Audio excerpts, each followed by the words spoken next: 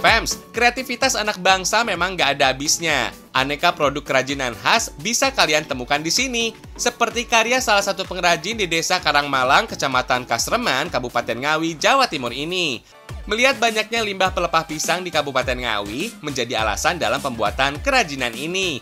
Katanya sih, usaha kerajinan ini sudah ada sejak tahun 2020 lalu loh. Untuk membuat kerajinan ini dibutuhkan pelepah batang pisang yang sudah kering. Biasanya sih jenis pelepah pisang kepok yang dipakai. Soalnya jenis pisang ini memiliki serat yang kuat dan elastis, sehingga mudah untuk dibentuk jadi kerajinan. Proses pembuatan peci dimulai dari pembuatan pola, kemudian cetak sesuai keinginan. Siapkan juga lapisan peci dari spons dan kulit, kemudian rekatkan dengan lem. Biar makin menarik, siapkan anyaman dari pelepah pisang.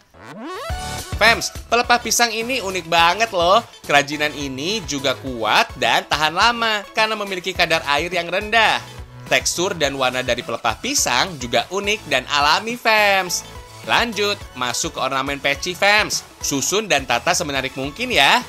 Dalam sehari, usaha kerajinan pelepah pisang ini bisa menghasilkan 10 peci dan 2 tudung saji, Fems. Untuk harganya nggak terlalu mahal kok, mulai dari 25 sampai dengan 150 ribu rupiah saja. Oh iya fans, ini custom alias bisa dipesan sesuai dengan pesanan. Benar-benar kreatif tingkat dewa ya fans. Hihihi.